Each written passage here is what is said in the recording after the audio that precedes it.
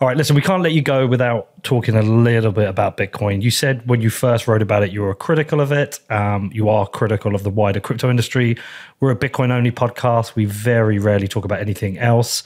Um, we're obviously proponents and, and supporters of Bitcoin, but kind of where are you at with it now? Because obviously you've been become more exposed to it by the fact you've got an audience that comes to you who are Bitcoiners. Like, where are you guys with it now?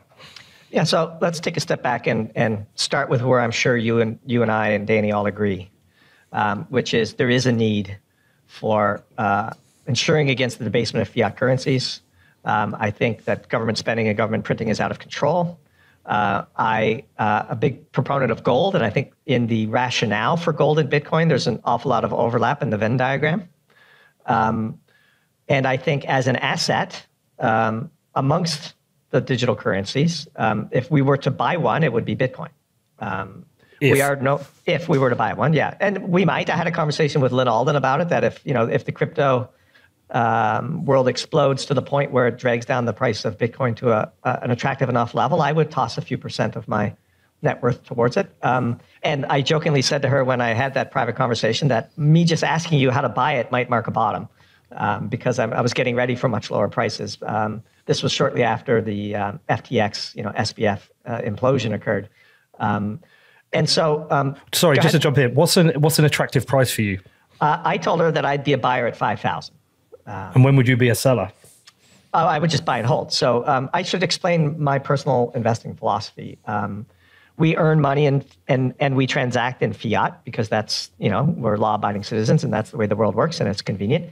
Um, we save money by buying real assets like gold and land and collectibles, and then we invest privately where we could affect the outcome with our own skills and network, and we sort of call that sweat alpha. Um, we, we don't speculate in the stock market, um, but we do save um, by buying real assets, and if we were to buy Bitcoin, that would be an allocation um, where in that category of allocation that we would make it. We would never buy crypto. We think all crypto are Ponzi's um, to the extent that Bitcoin is an asset, and Bitcoin does have some useful properties. Um, I just don't know how it'll ever be. Our, our critics, our critique of Bitcoin has always been twofold. One, um, the regulatory regime will not allow it, and they will crack down on it, and it will be used um, as a bridge to central bank digital currencies, which we think are a surveillance nightmare. Um, and then two, that the price of Bitcoin uh, was being artificially manipulated by the crypto world vis-a-vis Tether and, and other stablecoins. Um, and we think that a bottom won't be in for Bitcoin until the Tether situation is resolved. And um, that's why I was talking to Lyn about learning how to actually buy and store it, you know, in my own hard wallet or cold wallet or whatever you guys call it. Um, but I, I, understand the the attractiveness of it, and I understand that the Bitcoin network itself is a pretty interesting phenomenon, and the decentralization of of it is attractive to me. I just don't think the government's going to let me spend it. And look what they did in Canada. You know, we wrote a piece um, called "Just Watch Me" that that that roasted um, Justin Trudeau, who I think is the is the intellectual weak link uh, of of a pretty pathetic set of leaders in the G7 today, as it stands. Um, but the first thing they did was they, you know, slapped uh, sanctions on these wallets that were donating to uh, to the Bitcoin crowd. I think the sanctioning of Tornado Cash is a real troubling sign. We wrote a piece on that. Uh, but hold on, well. the the Canadian government also sanctioned donations which were made Correct. in fiat as well. Exactly, it wasn't just Bitcoin. Is, right, but when it mattered, you couldn't spend your Bitcoin, right? And so the whole point is that like you still have to operate within society, and it's up.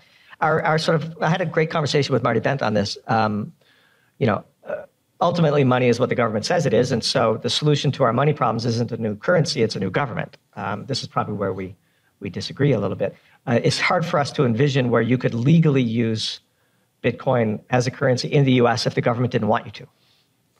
Um, which is what we saw in Canada in a very small, very small way. But like, look at how they sanctioned Tornado Cash, right? Um, yes, Tornado Cash is used for money laundering, but there are also legitimate uses for it, like wanting to make a private donation that can't be traced back to your main assets. Um, criminals use highways. We wouldn't tear up a highway just because criminals happen to use it, but they sanctioned a piece of software um, which we think was a very dangerous precedent as well. So, but back to Bitcoin. Um, when Tether is resolved, and Binance is resolved, and Bitfinex is resolved, and all of this is sort of washed away, that's when we think the bottom of this sort of secular bear market in Bitcoin will be in. And that's a point where we would make a multiple percent allocation of our net worth and stick it in a safe somewhere and give it to our children someday, like the gold coins they'll get when I die as well. Huh. Uh, what if what if we are at the bottom though, you miss it?